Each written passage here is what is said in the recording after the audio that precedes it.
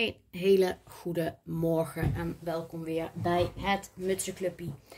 Ik ga met jullie de live van 1 juli opnemen, live 69. Het is vandaag 6 mei. En deze live wordt gesponsord door eh, Hobby for You 2 uit Almere. We gaan een tweede poging wagen voor dit filmpje. Er ging een hele hoop mis, dus ik heb besloten om hem af te sluiten en opnieuw te starten. Ik ga gebruik maken van ons eenhoornpapier, ons unicorn papier, de extra lijn van juli.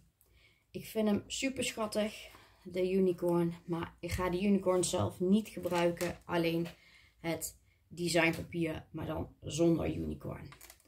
Wat hebben we nodig? Ik heb één keer A van 15 bij 24. Ik heb twee keer B van 4 bij 12. Ik heb twee keer C van 2 bij 11. Ik heb twee keer D van 8 bij 16. Ik heb twee keer E van 6,9 bij 4. Ik heb twee keer F van 5,1 bij 8,5. En ik heb een keer G van 5 bij 28. Nou, tot zover gaan we goed. Ik ga ook even spieken of die nog loopt. Ja. Dan hebben we ons designpapier. En zoals ik dus al zei, het is designpapier van juli extra. En uh, dat staat eigenlijk eenhoorntjes op, maar ik gebruik alleen het papier zonder eenhoorns. Ik heb drie keer A. 11,7 bij 14,7. Je kunt hem ook vier keer nemen. Dan heb je B, C en D niet nodig. Maar ik vind het leuker om het wel te doen. Dus ik heb het mezelf weer wat moeilijker gemaakt met een groter lijstje. Ik heb één keer B van, 11, van 1,7 bij 10,7. Ik heb een keer C van 7,7 bij 10,7. En ik heb een keer D van 1,7 bij 14,7. Dan ga ik het omdraaien. Ik heb twee keer E van 7,7 bij 6,7. Ik heb twee keer F van 7,7 bij 8,7. Ik heb één keer G. Klopt dat? Eén keer G? Nee, twee keer G. Ergens moet nog een G'tje zitten. Kijk, hier twee keer G van 4,8 bij 5,7. En ik heb twee keer H van 13 bij 4,7. Maar 13 is te lang. Maar dat heb ik expres gedaan, want 13 wordt de omslag van de bellyband. En ik weet niet zeker of de maat bij jullie even breed is als bij mij. Dus ik heb hem groter genomen, zodat je er beter een stukje vanaf kan halen dan dat je het helemaal opnieuw moet snijden. We gaan beginnen met cardstock A. Ik ga even mijn stoel verschuiven, die staat niet helemaal recht. En dat vind ik wel fijn om recht voor mijn werk te zitten. Mes gaat omhoog en A is 15 bij 24 en die ga ik rillen op 12. Dus hij gaat door de midden. Zo. Door de midden. Die ga ik aan de kant leggen.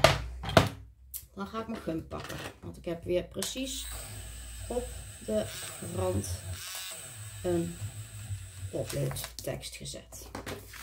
En hier ging ik eigenlijk al de fout bij in. Met het plakken van mijn designpapier. Ik heb drie delen A. Ik ga één plakken aan de binnenkant, links. Die andere twee komen aan de buitenkant. Ga ik nu nog niet doen. Dus ik ga deze opplakken. Zodat die kan drogen. En daar ging het al mis. Ik ging hem opplakken aan de binnenkant. Allebei de binnenkanten. En toen kwam ik tot de conclusie dat het niet goed zat. Toen had ik ook nog mijn vouwsysteem verkeerd geplakt. En toen dacht ik, ja, nou wordt het tijd dat we opnieuw beginnen. Dus we gaan opnieuw beginnen. Deze aan de binnenkant. Dan ga ik hem omdraaien naar de buitenkant. En dan ga ik ook deze twee gelijk opplakken. Kan ik ook niet meer in de war komen om hem verkeerd te plakken. Dus deze twee aan de buitenkant. En zoals je ziet zijn het alle vier dezelfde patroontjes. Dat is het handige als je het digitaal bestelt, dan kun je bijvoorbeeld één bladzijde wel tien keer uitprinten als jij dat leuk vindt. En dat heb ik nu met de binnenkant en de buitenkant gedaan. Dus dat is het voordeel als je zelf kan printen. Dan kan je dus kiezen welke designvelletjes je wel wil en welke designvelletjes je niet wil gebruiken. Dus ik heb nu ook niet die met de unicorn gebruikt, maar met alleen het designtje erop. Dus dit is de buitenkant. Deze gaan we vouwen. De rillijn gaan we erin maken. Zo. Kijk, en dan heb ik alle delen aangeplakt. En dan kan ik hier in ieder geval al niet meer mee in de problemen komen. Oh. Moet hij niet gaan schuiven. Want dat willen we Hij moet wel recht op mijn papier zitten. Die zetten we aan de kant. Dopje op de lijm. Die ook aan de kant. Dan pak ik mijn twee cardstock delen B. Die is 4 bij 12. Die ga ik rillen op de korte kant, op 2. En dat gaan we heel precies doen, want vanmorgen toen ik hem op ging nemen, ging het alweer mis. Dus ik ga eerst even deze rillen. Allebei. Op de korte kant op 2. En wij zijn ook maar mutsen, dus bij ons gaat er ook wel eens wat mis. Oh, niet over de sponsor, want daar zijn we heel blij mee. En we vouwen hem dubbel. Ja, deze klopt. En deze, ja, ik snap niet waarom de ene wel klopt. Nou, ook niet helemaal. Dus we gaan even, eerst even erin drillen. En dan ga ik hem even afknippen, want hij moet gelijk lopen. Want anders hebben we zonderling een probleem met het plakken. Dus loopt hij bij jou ook een heel klein stukje eroverheen. Knip hem even op maat. Kijk, en deze, ik snap niet waarom. Ik heb hem toch echt op 2 gerild. 2, 2. Gaan nog een keertje rillen. Op een of andere manier. 2. Dan is hij nu ook niet goed. Maar dan kan ik hem wel op 2. Kom jongens. Niet vervelend gaan doen. Hij moet gewoon op 2. Juist. Nou, haha. Zo moeilijk af en. Dan ga ik mijn railboard als liniaal gebruiken. Dus ik ga hem op de lange kant op 2 centimeter leggen. En ik pak mijn potlood. Trek hem er doorheen. Heel op 2. En dat doe ik ook op 4. 4. Met die andere ook. Vouw ik hem even open. Gaat hij op 2. En op 4. Dan ga ik mijn railbord aan de kant leggen. En ik ga mijn liniaal erbij pakken. Ik ga van de potloodpunt naar de punt in de hoek. Ga ik een streep zetten. Doe ik ook aan de andere kant. En zorg dat die ook weer precies door het midden van je kruis loopt. Dat je een mooi kruis krijgt. Gaan we bij deze ook doen. Van je potloodpunt naar de punt van je papier. Ook weer andersom. Van je potloodpunt naar de van je papier. Zo. Dan krijgen we twee kruisen erin. En wat gaan we nou wegknippen? Dit vierkant gaan we wegknippen. En dit driehoekje gaan we wegknippen. Doe ook aan de andere kant ook, maar dan contra. Dus het bovenste gaan we wegknippen. En dit driehoekje gaan we wegknippen. Dus we knippen het driehoekje weg. En dan moet ik heel even kijken welke rechte lijn we wegknippen. Want hier zat dus een dubbele rillijn. Zo. Ja. Dus dan krijg je dit. Dit is de onderkant. Deze knippen we ook weg tot aan de rillijn. En dan over de rillijn. Zo. Dan gaan we potloodstrepen weggummen. Deze lange gaat weg. En die lange gaat weg. En dan gaat ook het middenstuk weg. Dus je houdt een driehoekje over. Ik ga heel even een lampje erbij aandoen. Ik weet niet of het bij jullie ook wat donkerder is, maar misschien is het zo net even wat beter te zien. Dus we lopen even heen en weer om alle lampjes aan te doen. En dan hebben we een potloodstreep over. En deze potloodstreep die gaan we rillen. Dus we gaan een liniaal leggen. En je kan het natuurlijk ook rillen met je rilbord. Maar ik vind het makkelijker om dit met mijn rilpen te doen. Zo. Doe ook bij het andere deel. Even met mijn rilpen er overheen. En aan deze kant ook.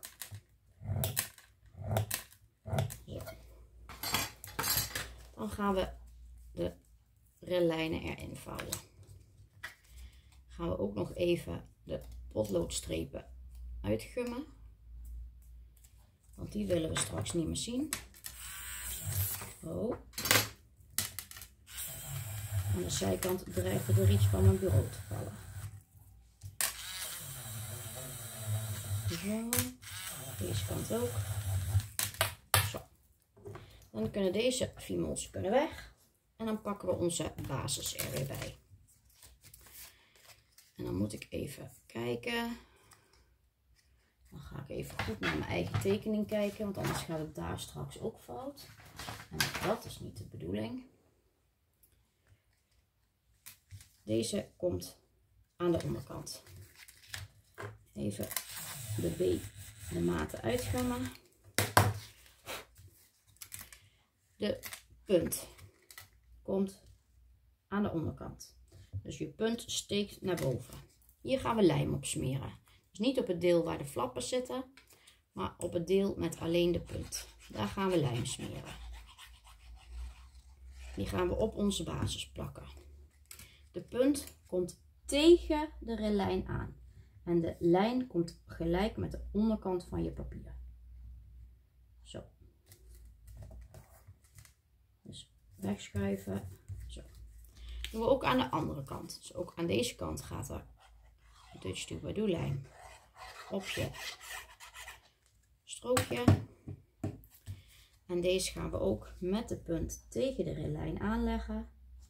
En de rand van de onderkant loopt gelijk. Drukken hem even aan. Ook hier even de maat weer uitgummen. Zo. En we klappen hem dicht. Dan hebben we het driehoekje aan de bovenkant. Dus het grote driehoek laten we zitten. Het kleine driehoekje, daar gaan we lijm op smeren. Die klappen we open en we klappen hem dicht en we plakken hem op. Zo. Even vasthouden. Doen we met die andere ook. We hebben hem opengeklapt. Op de driehoek gaan we lijm smeren. Klappen hem weer open. Deze klappen we dicht. En die klappen we op de binnenkant. En als het goed is, hij moet heel even drogen, dan gaat hij aan de onderkant ook niet over de rillijn. Hij steekt hier een heel klein beetje uit. Dus dat wil ik niet. Dus ik ga hem een heel klein stukje afsnijden. Zo. En dit gaan we heel even laten drogen. Hem heel even aanduwen. Dan hebben we ons designpapier. B, C en D. Ik ga heel even zoeken. B, C en D. Deze komt aan de linkerkant. Die gaan we opplakken. Je kunt er dus ook voor kiezen om gewoon nog een deel A te gebruiken en die op te plakken. Maar ik vond het leuker als er wat uh, stukjes tussen zitten. Dus deze ga ik aan deze kant plakken. Dan kan mijn vouwsysteem even goed drogen. Even goed schuiven, want het lijntje loopt hoog, gelijk. Dan pakken we de volgende. En dat is C van 7,7 bij 10,7.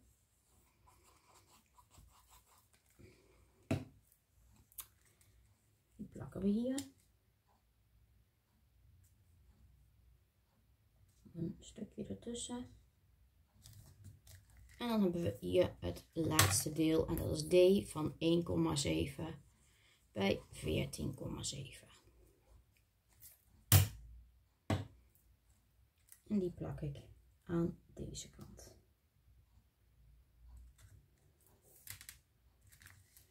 Zo. Deze ietsje schuiven. Die ook iets meer als het nog kan. Ja. Zodat de tussenstukjes ongeveer gelijk zijn. Dat vind ik dan wel het mooiste. Deze iets verder naar beneden. Want dan loopt het lijntje gelijk. Nou. Zo. Nou loopt die door. En als we hem nu vouwen, dan klapt het systeem naar binnen. Dat is ook de bedoeling. Dus voor nu gaan we goed. Als je dan ook nog opneemt, ja, jongens, wat een feest. Dan gaan we de basis weer aan de kant leggen. Dan gaan we twee design cardstockstukken C erbij pakken. Dan pakken we ons rilbord er weer bij. En deze gaan we op de lange kant, gaan we die rillen. Op 2 en op 9. Dat doen we aan allebei de kanten. Dus bij allebei de delen bedoel ik. Op 2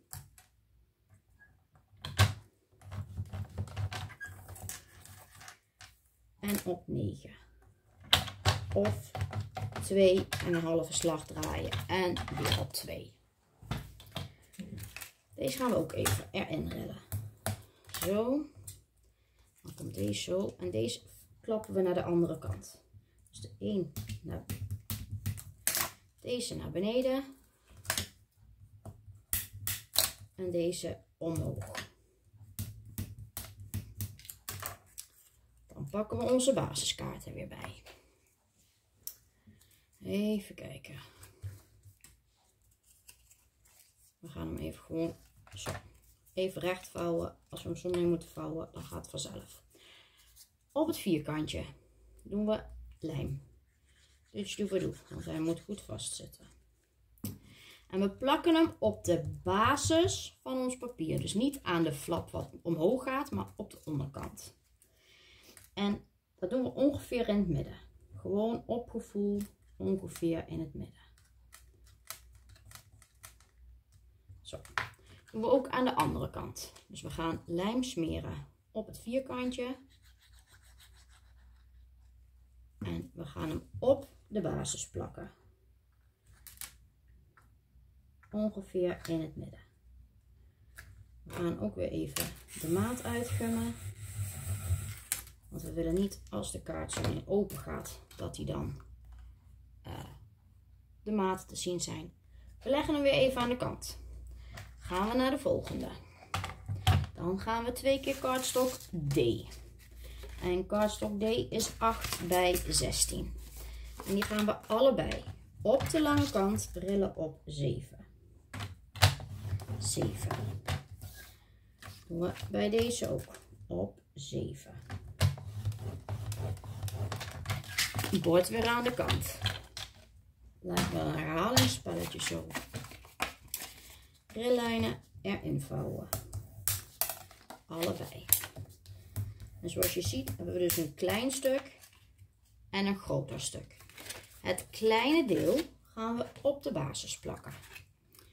Dan gaan we op die vlak plakken. Je hebt hier je driehoekje. Ik zet mijn vinger op de rillijn van het driehoekje, want we, daar willen we niet lijmen. Pak de lijn van je designpapier. Daar lijmen we Dutch lijm op. Dan pak ik het kleinste vlak. En het kleinste vlak plakken we op onze basis. Niet over de rillijn heen, want dat is je vouwsysteem. En we willen dat die straks goed blijft vouwen. Draai ik hem om. Doe ik aan de andere kant precies hetzelfde. Daar ga ik Dutch lijm smeren. Niet bij de rillijn. En het kleine deel ga ik erop plakken. Zo. Nou, op zich. Zo moeilijk was dit niet. Even recht plakken. Zo. Dan klapt hij naar binnen, het bovenste deel. Hier hebben we weer een maatje. Ja, kan eigenlijk blijven zitten, want er komt zo'n designpapier overheen. Maar we willen het goed laten zien. Dan hebben we deze flap. Deze klapt naar binnen. Daar doen we lijm op.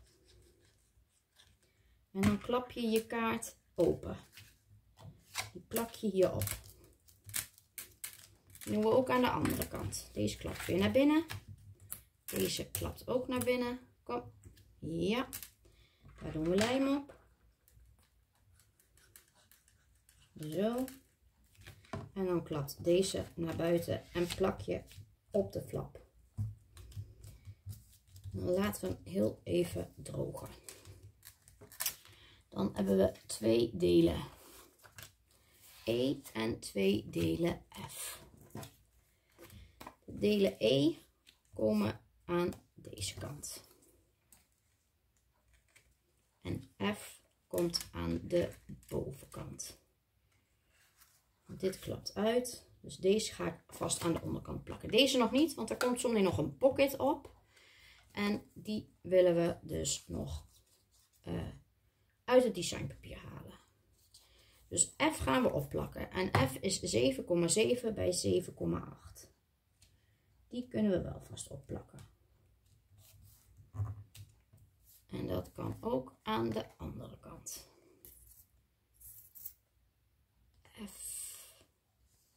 Gaan we opplakken. 7,7 bij 7, 8,7. Die plakken we aan de bovenkant. Zo.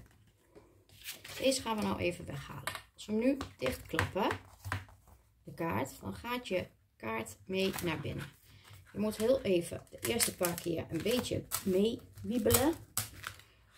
Maar als hij eenmaal gaat, dan gaat hij. Nou leuk. Zo. Dan hebben we dus nog de vlakke E. Daar komt cardstock E op. Die gaan we hier opplakken.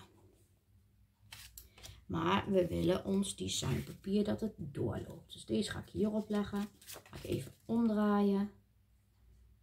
Ga ik hierop leggen. Mijn pocket gaat erop. Dan ga ik een streepje hier zetten. En die ga ik afsnijden. Doe ik ook met deze. Op het streepje ga ik hem afsnijden. Aan de kant. Niet onze sponsor Hobby voor YouTube onderleggen. En die ga ik afsnijden. Maar ik ga er dus een streepje onder zetten. Dus ik ga hier ongeveer. Ja, zo. Want anders is de een te groot en de ander te klein. Dus deze ga ik even beinten. En dat doe ik met mijn Distress Inkt Walnut Steen. Ja, ik ben meer van de donkere kleurtjes. Misschien had Bianca hier wel een roze randje omheen gemaakt. Ik ben toch sneller geneigd om naar mijn comfortabele kleurtjes te gaan. En dat is toch echt wel bruin en zwart. En heel soms wil ik een keertje blauw gebruiken. Maar eigenlijk ben ik echt wel van het bruin en het zwart. Nou, dit maakt niet zo heel veel uit. Deze ga ik opplakken aan de rechterkant van mijn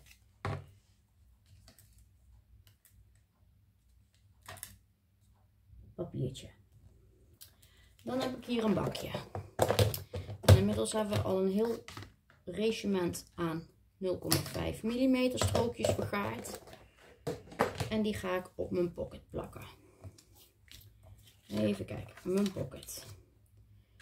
We gaan twee korte kanten en één lange kant gaan we beplakken. En ik zie dat ik een berichtje heb op mijn horloge.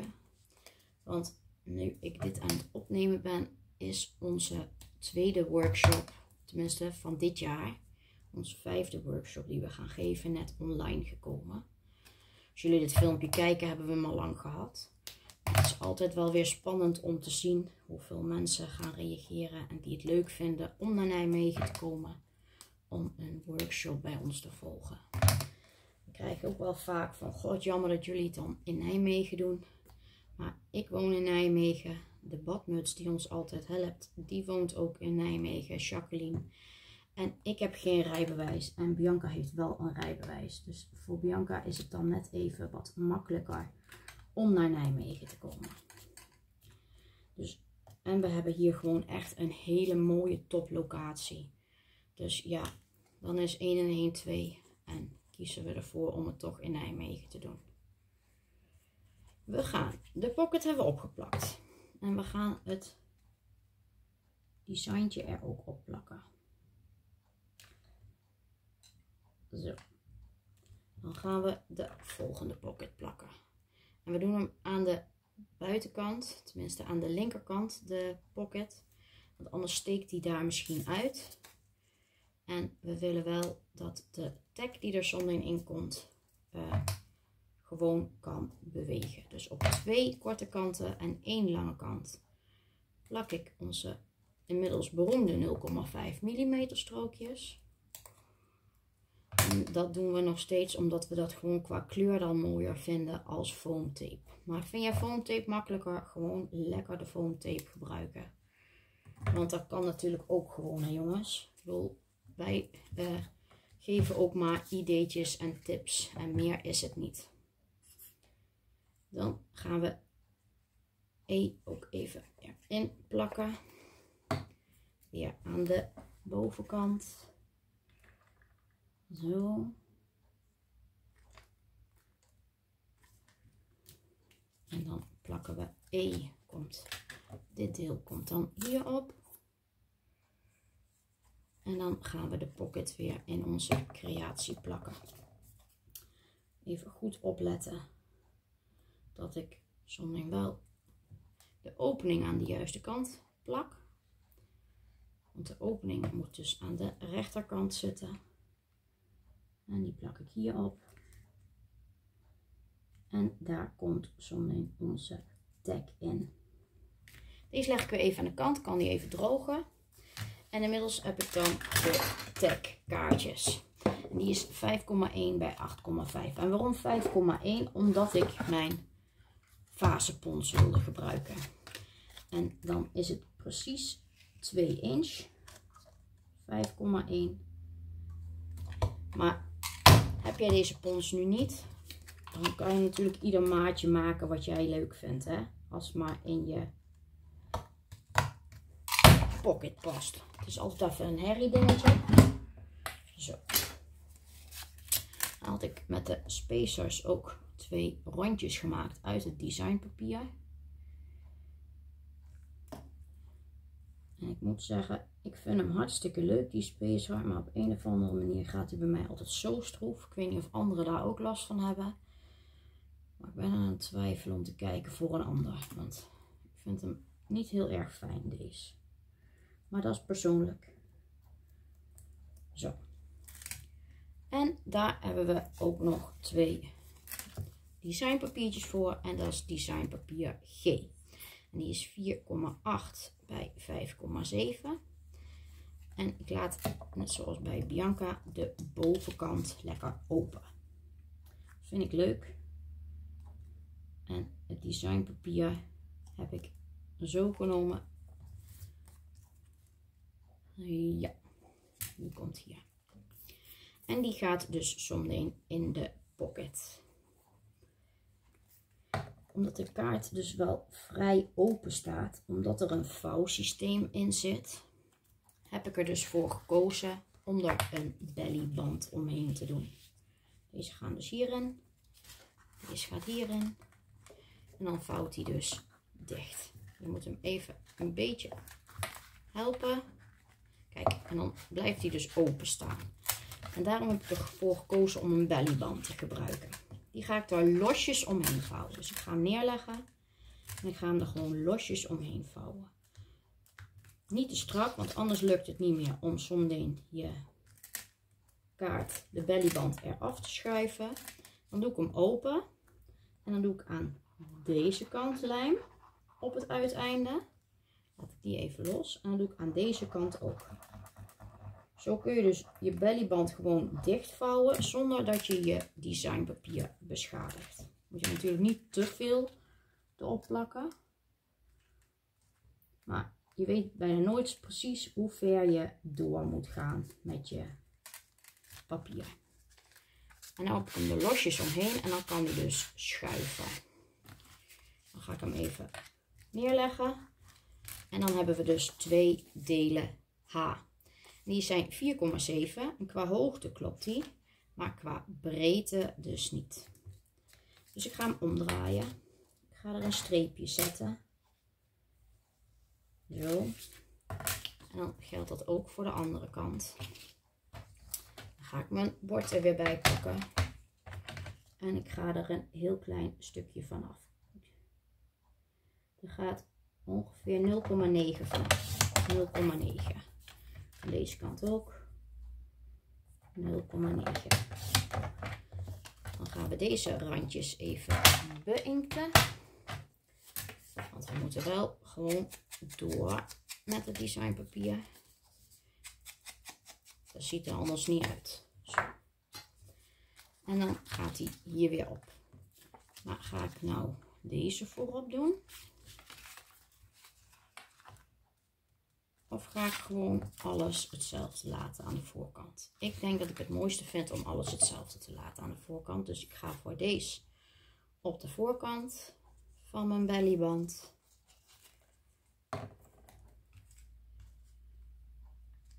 Zo.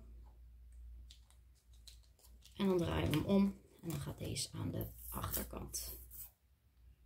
Ik mijn lijmfles ook weer langzaam bij gaan vullen met de colorlijm. Maar ik heb altijd op voorraad. Dus voorlopig heb ik nog genoeg. Zo. Deze gaan we dus even laten drogen. Die komt hier omheen. En omdat je hem dus losjes eromheen hebt gevouwen, kun je hem gewoon heen en weer schuiven. Dan gaat hij open. Hij klapt open. En dan heb je hier twee tekjes. Ik zit eraan te twijfelen of ik hier nog iets wil. Misschien ga ik hier nog iets toevoegen. Maar op zich vind ik hem zo al helemaal leuk. Ik hoop dat jullie hem ook leuk vinden en dat jullie hem gaan maken. En zet hem dan weer in ons album. En binnen twee weken heb je hem geplaatst. Dan maak je kans op de sponsorprijs van Hobby for You 2 uit Almere. Plaats je hem daarna vinden wij nog steeds heel erg leuk, maar valt er geen prijsje meer mee te winnen. Ik bedank jullie weer voor het kijken. Heel veel crea plezier en tot de volgende keer. Doei doeg!